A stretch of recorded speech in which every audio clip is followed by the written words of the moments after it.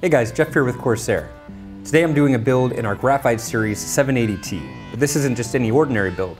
We're building it for our friends over at Able Gamers for them to show off at their booth this year at PAX East 2015.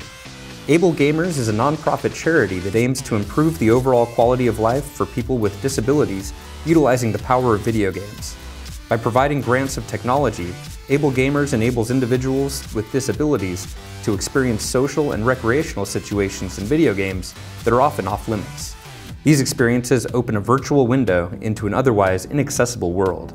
The Graphite Series 780T case has custom Able Gamers graphics that were done by our friends at PC Junkie Mods. The motherboard is an Asus Z97-A and we'll be using an Intel Core i7-4790K CPU. Cooling the CPU will be a Hydro Series H100i liquid CPU cooler. We'll also be installing 16 gigabytes of Vengeance Pro memory and a 240 gigabyte Force LS SSD. Powering everything will be an RM1000 PSU. So why do we need such a powerful PSU? Well, last but not least, we'll be installing not one, but two GTX 980s. Let's go ahead and get started on the build. First, I'll place the CPU onto the motherboard. Be sure to line up the arrow on the CPU with the one on the socket to be sure it's oriented correctly.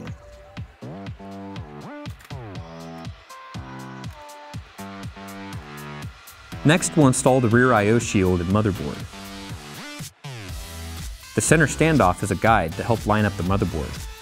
Once the guide is through the center mounting hole, the other mounting hole should be lined up with the standoffs underneath.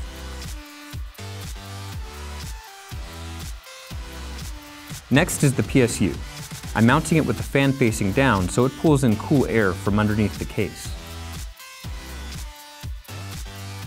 I'm also going to run the 24 pin cable and the 8 pin CPU power cable.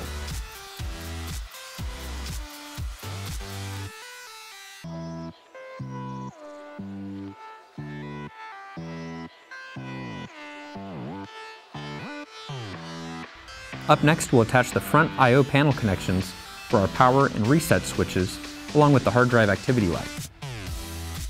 We'll also plug in the front USB 3.0 ports and the front audio ports to the motherboard. And at this time, we'll also connect the case fans to the integrated fan controller and run power to that as well. Now we'll add the CPU cooler. I like to start with the backplate first. I'm installing the fans as an exhaust.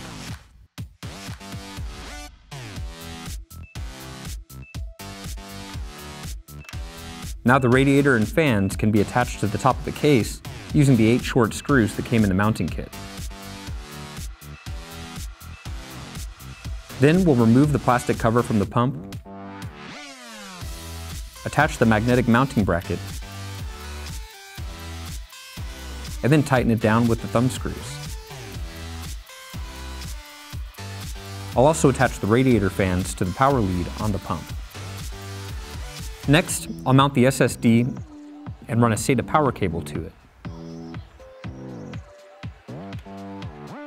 I'll also use the SATA power cable to power the CPU cooler.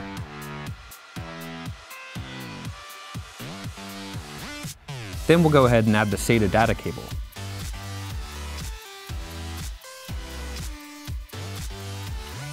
Now, we'll add the 16 gigabytes of DDR3 Vengeance memory.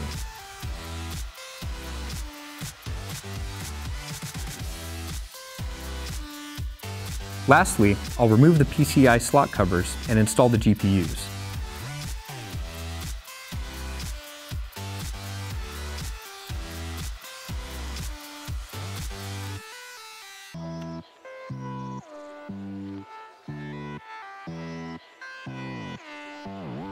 And let's not forget the SLI bridge. All right, the build is complete. The last step is to turn it on and make sure everything works.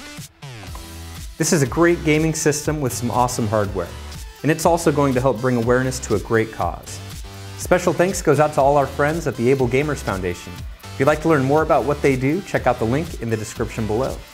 Thanks for watching, and if you have any questions, here's how to reach us.